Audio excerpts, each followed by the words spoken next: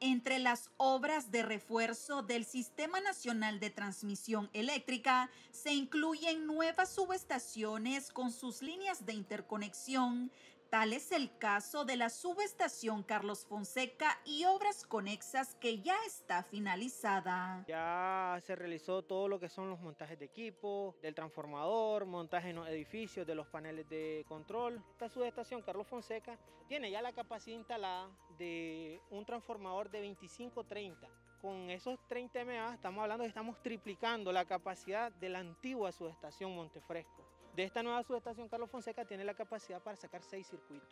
Se construyen dos nuevas líneas para conectarla, esta subestación en una conexión en anillo, con la subestación vía El Carmen, con una línea de 23 kilómetros hacia esta nueva subestación Carlos Fonseca y con la nueva subestación Ticuantepe 1 que va a ser con una línea de 16 kilómetros. Esta subestación en 138 kV sustituirá a la subestación Montefresco, cuya capacidad es limitada y que hasta el momento atiende la demanda de suministro eléctrico del municipio de El Crucero y comunidades aledañas. Montefresco era una subestación en 69 kV. Entonces, esta subestación constaba de un transformador de 10 MVA para suplir del servicio eléctrico a las comunidades aledañas, el crucero. Este transformador salía en tres circuitos, de los cuales dos eran los que se estaban utilizando y el otro ya se dejaba como reserva. Con el crecimiento de la población en los lugares aledaños de Managua, se ha incrementado en los últimos años la demanda del servicio eléctrico, por lo que ese transformador de 10 MVA ya no suplía las necesidades de la población, ya estaban los circuitos sobrecargados, había muchas fallas por esa razón. Entonces, eh, de ahí sale la necesidad de ampliar esta subestación. La moderna infraestructura se encuentra ubicada en el kilómetro 16.3 de la carretera sur.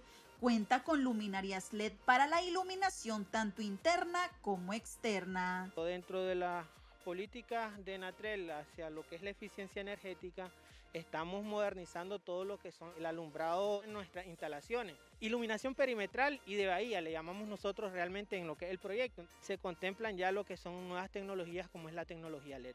De igual manera, personal del departamento de montaje están realizando ajustes para la entrada en operación de la subestación. Esto se encuentra en la etapa final, la etapa de integración o puesta en marcha que corresponde a la programación de, todos los equipos para el correcto funcionamiento del mando, señales y la comunicación con el despacho nacional.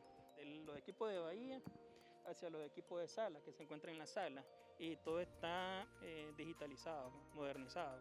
Y nos encontramos en apoyo al personal de Siemens, que es el que está responsable de esa programación. La subestación Carlos Fonseca atenderá las zonas de El Crucero, Montefresco y sectores adyacentes con un mejor servicio de energía eléctrica y con capacidad suficiente para satisfacer la demanda a largo plazo, de igual manera a industrias que se asienten en la zona.